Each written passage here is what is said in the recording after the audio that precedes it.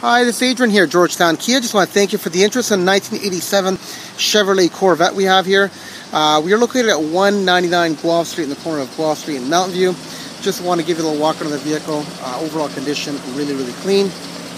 So they do have the nice alloy wheels, nice Michelin tires. Overall condition, really, really clean. So you do have the heart uh, top, and you also in the back you do have the glass top.